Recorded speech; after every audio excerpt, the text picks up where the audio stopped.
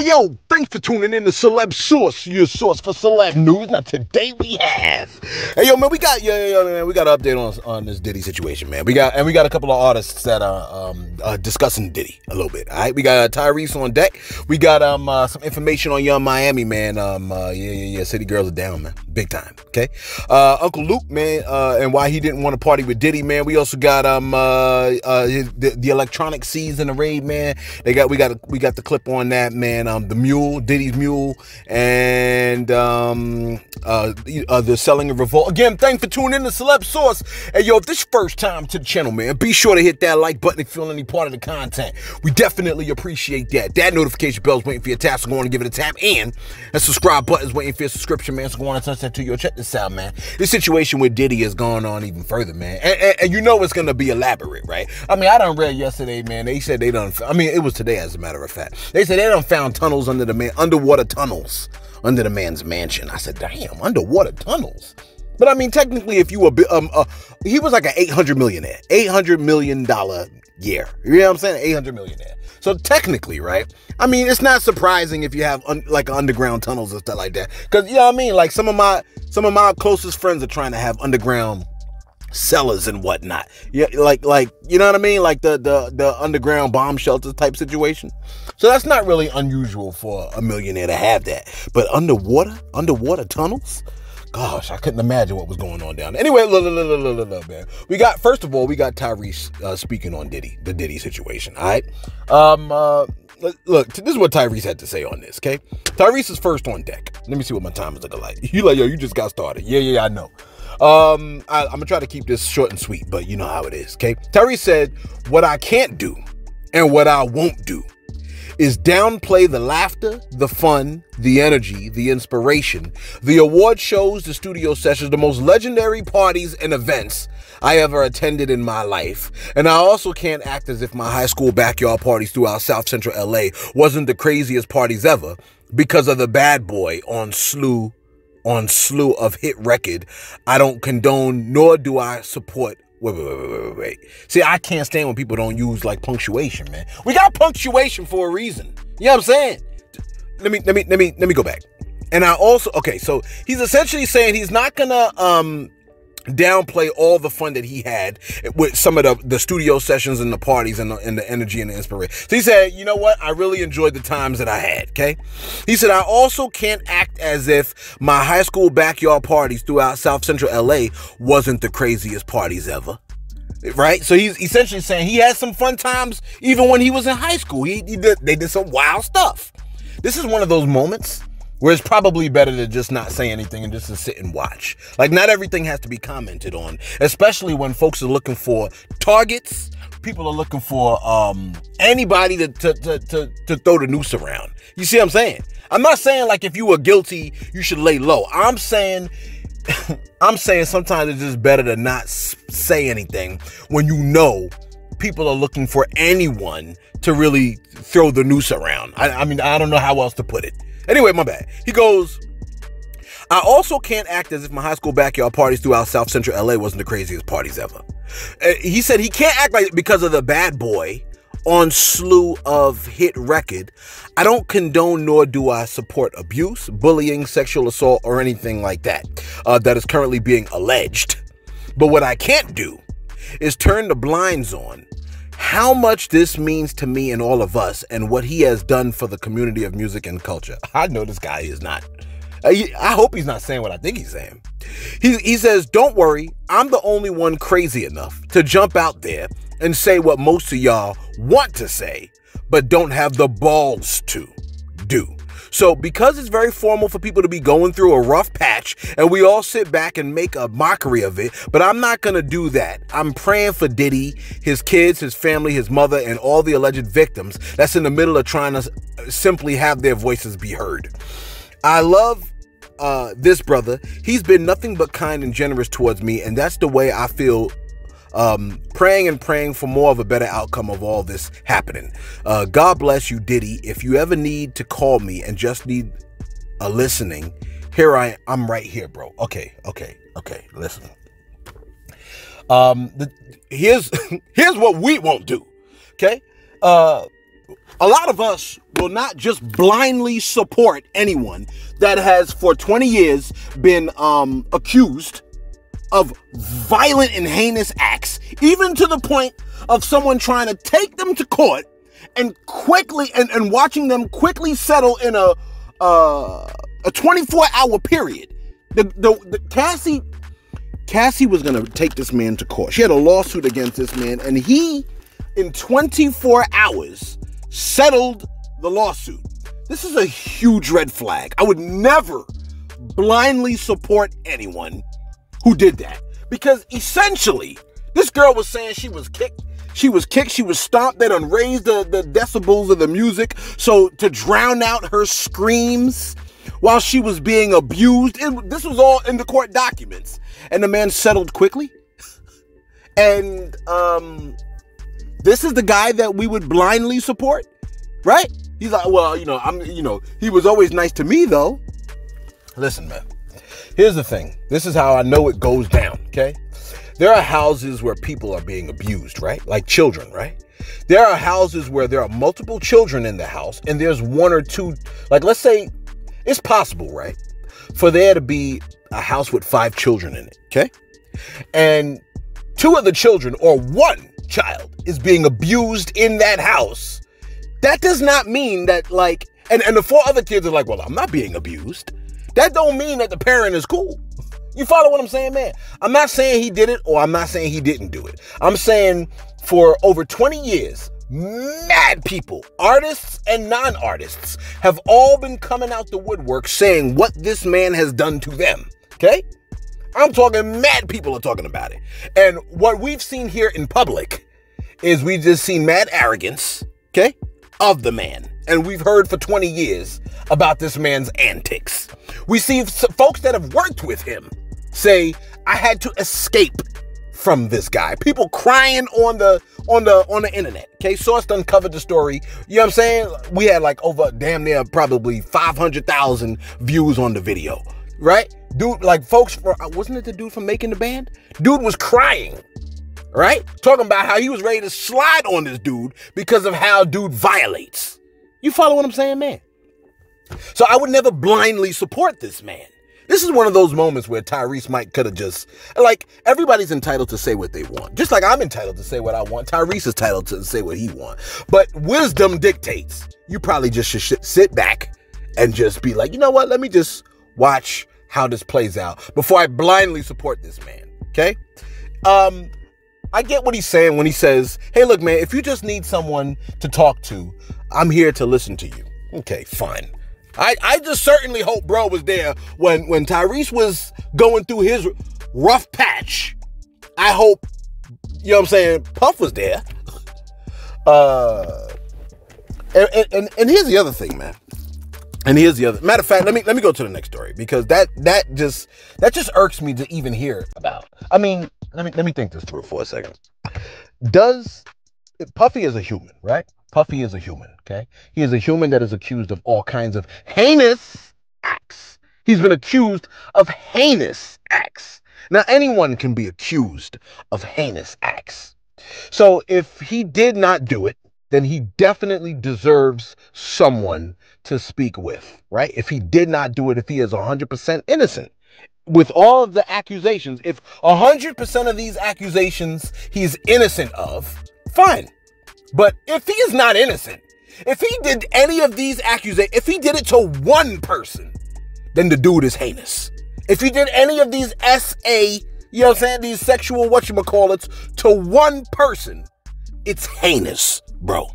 See, I was uh, watching an interview with um uh the Breakfast Club, okay? Holy moly, right? Nine minutes? I was watching the situation with the Breakfast Club. Breakfast Club, they like they was like, yo, man, if he didn't do like one thing, I don't agree with what Charlemagne said. Charlemagne said, I just don't like to see anybody's legacy torn down. My thought process is this. If you committed any of these actions, if if you did, if you are 100% innocent, we don't want to see your legacy destroyed. But if you committed any of the things that you've been accused of committing to even one person, then I want to see your legacy destroyed. You should have no legacy if if in the process of uh, building your legacy you've destroyed people emotionally and socially. You follow what I'm saying, man? Uh, it, listen, um, when I was a kid, right? Two Live Crew was huge. It was huge. In fact, I think Two Live Crew is the, if I remember correctly, if my memory ain't playing Marco Polo on your boy, right? I believe Two Live Crew is the reason for the um the parental advisory explicit lyrics thing. Okay. What I now there was no internet when I was young, not that I could remember, right? Uh when Two Live Crew was doing their thing, okay, I used to hear stories about how on stage while they were performing, all kinds of wildness was happening on stage. Damn it, like stuff akin to like full blown orgies. Like folks are talking like there was orgies going on on stage. Now I know that it's possible for folks to exaggerate, but I was told right? We, you know, we and, and I didn't read it in a source magazine. I'm just saying I was told from mad people like, yo, they was having orgies on them stages. You know what I'm saying? And I was like, damn, they was doing it like that, bro. Like at the time, I was like, well, I, you know what I'm saying? I want to go to one of those concerts and see what's going on. I heard it was wild. Okay. Uncle Luke has stated that um, he was uh, invited to uh, Diddy parties after hours. And he was like, I ain't going to one of them damn parties. I think it was on the We in Miami podcast. Take a listen to what uh, Luke had to say concerning why he didn't want to go to the after Artie Diddy, after hours Diddy party. Take a listen real quick. I wonder how many people have sampled music from me. You ever had someone sample and didn't call and didn't follow up on nothing? Yeah, yeah, French Montana. Yeah, that pop that. Oh yeah, yeah, pop that. Yeah, yeah. I'm like, hold on. Pop that. It was like, yeah, we want you to come uh, and uh, be in this video. You know, I don't, I ain't on every scene, you feel me? And so they were like, yo, come on by and, and do the video. I'm like, nah, I'm good. You know, now we got Wayne, we got Drake, we got all these people here and everything. And I was like, I don't give a you know, right. I don't, I'm, it's just not my vibe. Right. You know, uh, they're all cool people, you know, but I don't just move like that because right. somebody is someplace. And uh, we'll send a jet and all that. No, I don't need no jets and all that. Right. Long story short, after the video was shot, shot, then it was all these articles. I guess they had the press set up. Uh, Uncle Luke and French Montana and, Drake and Wayne and all them.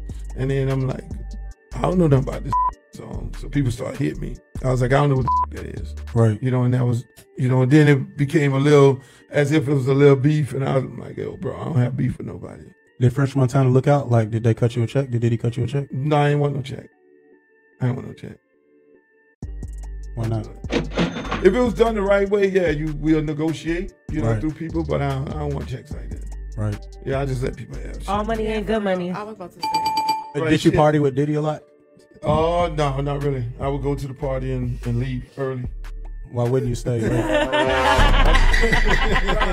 I go to the party and leave early. I'm sorry. Yeah. I don't know what goes on after part after hours, but he wasn't trying to find out. I wasn't trying to find out. you know, I know my place. You, you feel, I know my place. Now, I want you to um, consider where my mind is with this. Okay, I'm here telling you right that when I was young, I was told that Luke was damn near having orgies on his concert stage. I don't know if that's true or not. I've never been there to confirm it. Maybe you could confirm it in the comments below, but I've never seen that. I don't know if you've heard the same thing. That's what I heard. I heard them parties was super, I mean, parties. I heard Luke's concert, two live crew concerts were X rated on the stage. I'm, I'm talking falado going on, like on the damn stage. I was like, how could you perform while somebody is um how could you perform on stage while somebody's performing falado on you? Like that to me was crazy. So i was like how could you do i couldn't even focus. You know what i'm saying? I like maybe the, the lyrics would maybe this i don't know the music's playing in the back i don't know. You know what i'm saying? What i'm saying is this. If, if with that in my head about what the two live crew concerts were like for luke to say man i ain't staying at them damn after hour diddy parties. Mm-mm, that's not for me you got that's got damn right. That's all I can say is wait, wait, wait, wait. Luke, the Luke that I know from Two Live Crew, is it a, a different Luke? Maybe it's a different Luke. If it's Two Live Crew Luke that's saying I'm not staying at them parties after hours because that means some strange stuff was going down at them damn after hour parties, man. And we done heard it, man. We done heard we we done heard people opening them doors and seeing all kinds of shenanigans going on. And they was like, oh man, like well, that that ain't us. Like, you know what I'm saying? That ain't us. I heard, look, I heard, I heard Wu legends, Wu Tang Clan legends talk about they done opened up the door, was like, oh, this is not the party for me. We going home. You know what I'm saying? When you make the Wu Tang Clan go home. uh, let me see what my time looking like, man. This is gonna be an unorthodox video. Listen, man. Um, when I tell you city girls are down, listen, Yung Miami, they they done they done. Hey, Caresha, where you at? That's what they, that's what they. Caresha, where you at? She was like, I'm right here. Now it's starting to the pressure's starting to come a little bit harder. Okay, Yung Miami has been accused of accused. She's not. You know what I'm saying? They didn't cuff her or nothing like that. She is being accused of transporting cocaine to your boy Diddy. Pink cocaine. You like it's pink now? I guess it's in pink now. I thought it was white. I guess it's pink. Pink cocaine to Diddy. And this is not just hearsay. This is in the court documents. You like, oh boy. Yeah, yeah, yeah, yeah. Let me read it to you. Let me read it to you. What it, what it say? Uh, court documents read, it says plaintiff and Combs Rico Enterprise were rehearsing for something in the Westival in Virginia. The court filing reads, plaintiff Jones personally, wit- personally witnessed Mr. Combs do a few lines of coke in his dressing room. Defendant Sean Combs wanted Tukey, uh, Tusi, whatever, but Brendan forgot it. So defendant Kristina Khorram called Yung Miami, who then brought it on a private jet from Miami. Uh, what does it say? What does it say? Let me keep reading. It goes, um, Yung Miami, Jade, and Daphne Joy were paid a monthly fee to work as Combs's sex workers and received payment via wire transfer from Robin Greenhill, which outlined defendant's ongoing criminal operation. Mm, mm, mm. Uh, this is where her this is where her name pops up. Oh, let me let me go back a little bit. It says WhatsApp messages to distribute interstate wires to disseminate the misleading information described herein, as well as to receive profits from the artists, creators, musicians, and producers were uh, from their forced solicitation of sex workers and solicitation of sexual encounters with prostitutes, sex workers. Man, all this all this for nuts. you know what I'm saying? Like all this yeah, yeah. She's being accused of allegedly transporting pink cocaine. So, um, hopefully, this is false and none of this information is true and she's 100% innocent. Okay. But, um, being in these court documents, this ain't gonna be great. Uh, so, so they, they, they, I didn't even know they had it in pink now. They got it in pink apparently. Um, if, if this is true, if this is true, she's being accused. Okay. Uh, I went to the comments. Folks is like, now I see why JT got the cuff on. yeah. Uh, well, maybe, maybe. Okay.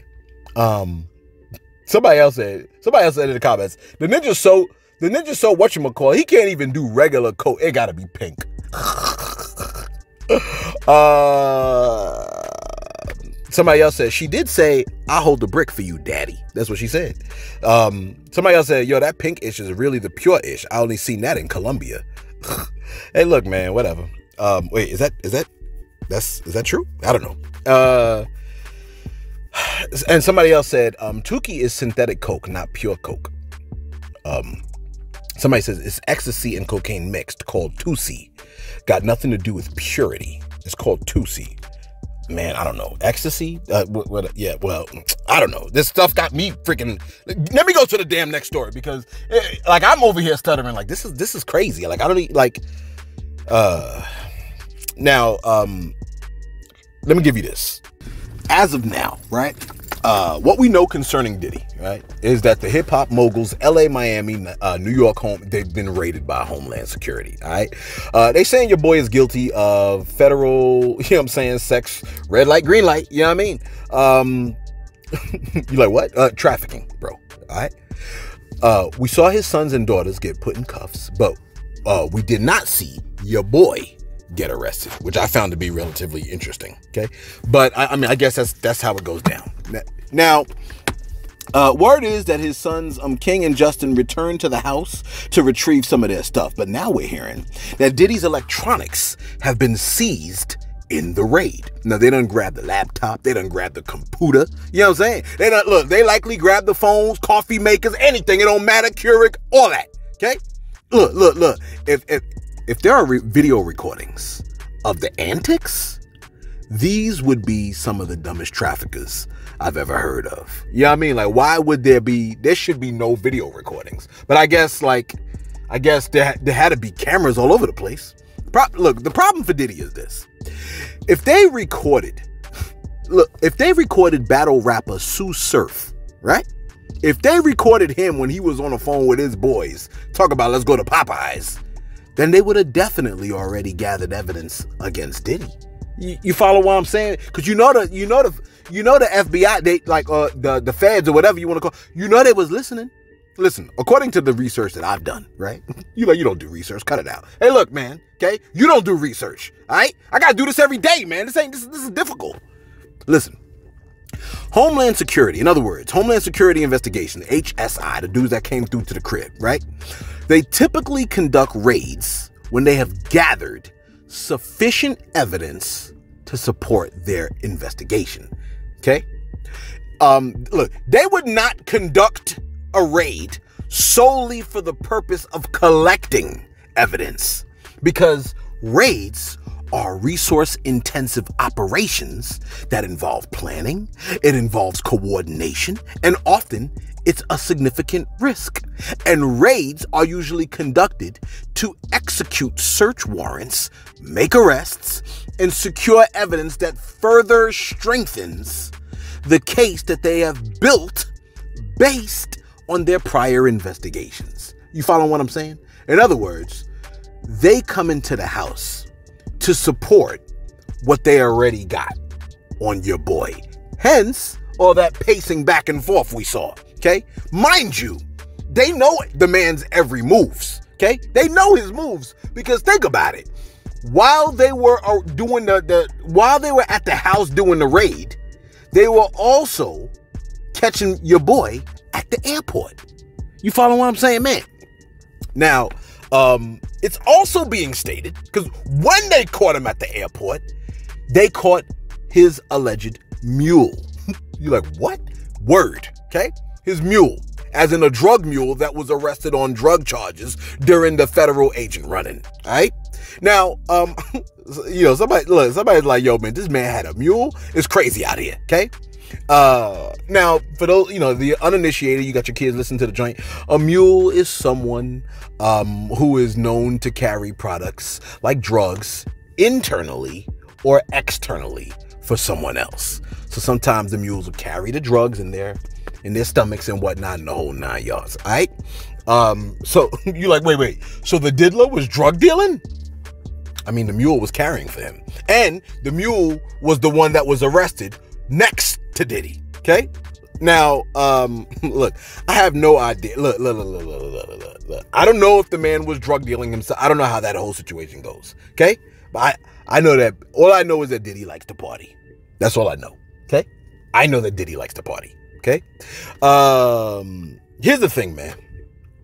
I can't imagine drugs not being in the picture with everything that go like there's usually certain things that associate with other things but everything that your boy got going on I like like drugs is not like it's not lost on me that drugs would be involved okay um you're like what kind of drugs uh, apparently um according to rolling stones and uh, a, cu- a couple of other outlets uh they're saying that they caught the mule with cocaine and marijuana all right um and I guess if there was, uh, they, I mean, I don't know. I, I, haven't heard of any pink cocaine or anything like that. Okay.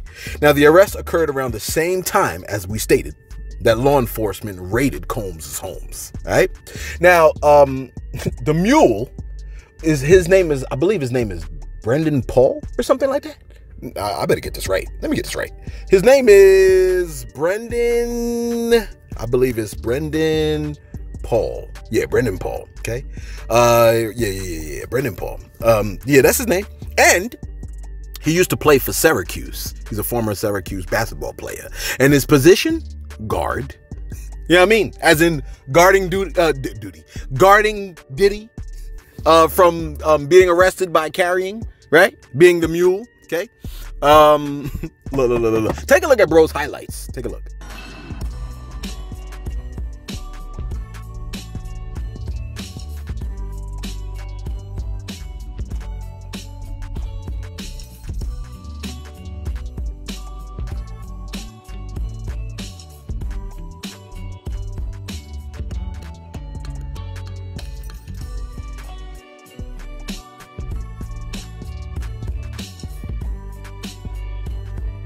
You're like, I know you did not just play that man's basketball highlights. We did. We did. What? The man can't have highlights played? We're showing you the best of the mule. We could be showing you him at his worst. We're showing you him at his best. look, look, look, look. His family raised brother be a baller. You know what I'm saying? Not a shot caller, a baller. And he out here playing defense for the diddler. Now, uh, look, they done released footage of the aftermath of the raid of Puffy's crib. Um, and and when I saw the video, I was like, man, this is wild disrespectful, man. You know what I'm saying? Um, take a look at the footage of the raid.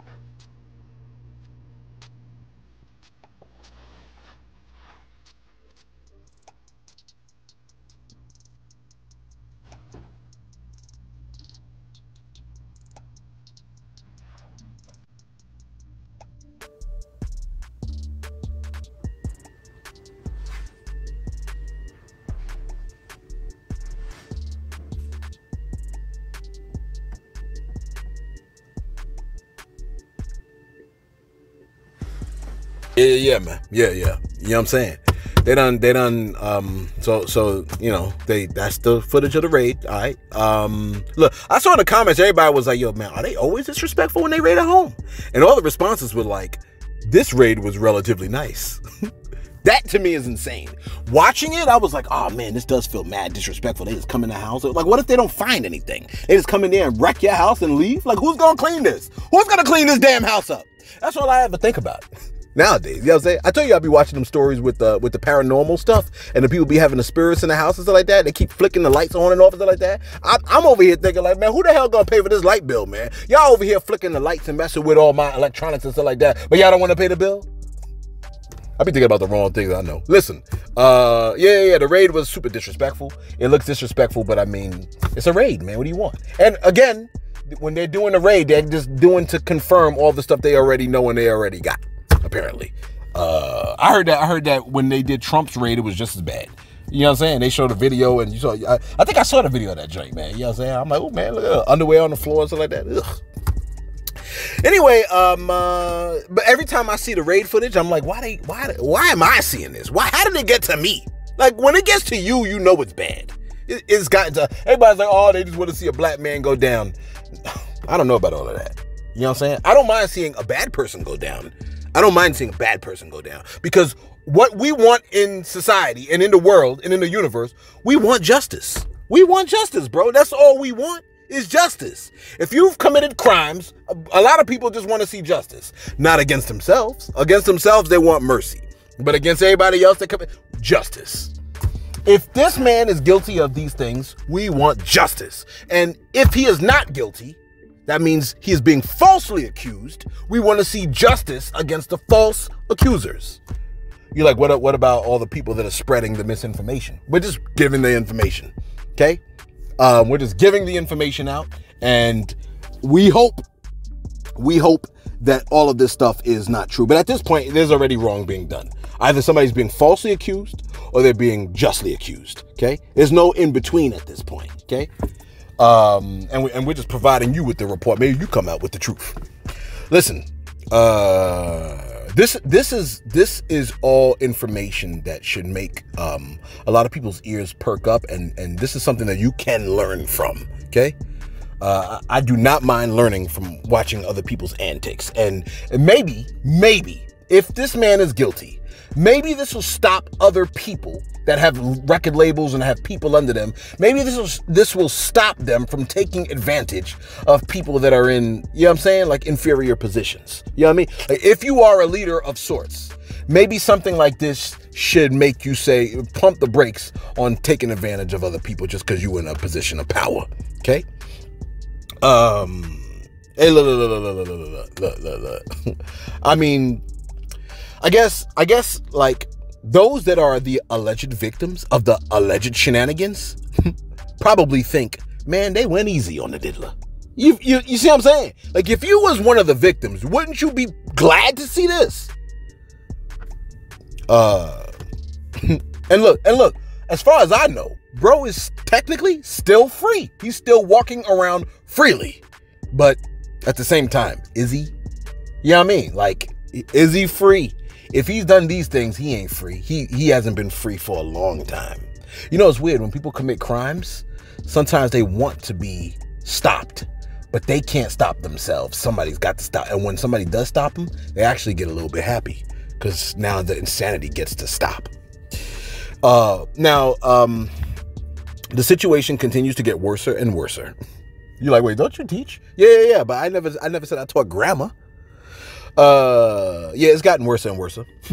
don't say, don't use that word, kids. Listen, uh, it's gotten worse because the diddler has sold all of his shares of Revolt TV to an anonymous buyer. Now, according to the Breakfast Club, right? Breakfast Club is saying that they think it's the dude that um, owns Shea Moisture or something like that. Uh, is the buyer it wants to remain anonymous for now, but it's stated that the buyer um, uh, is, is black owned. Revolt is still black owned, so there won't be any massive changes just yet. Okay. Now, uh, Diddy's attorney, lastly, Diddy's attorney has apparently showed up to work. Okay. Uh, uh, finally hearing, look, we're finally hearing from Diddy's camp, and his attorney, Aaron Dyer, is playing hard D, no Diddy, right? And he stated the following. Um, what did he say? He said, let me see if I can pull it up. Uh, go like this. He said, yesterday, yesterday, there was a gross overuse of military level force as search warrants were executed at Mr. Combs's residence. There is no excuse for the excessive show of force and hostility exhibited by authorities or the way his children and employees were treated. First of all, Mr. Lawyer, okay? When you say there's no excuse, I thought I heard he was blowing up people's cars and hanging Wale outside the window. I don't know if that's true about the Wale situation, but I heard that he was hanging people out the window, and I heard he was blowing up people's cars in their driveway.